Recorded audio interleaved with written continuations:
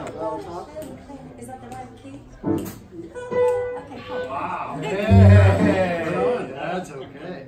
So I'll, I'll, I'll, I'll, I'll come on. I'm Mesa Zay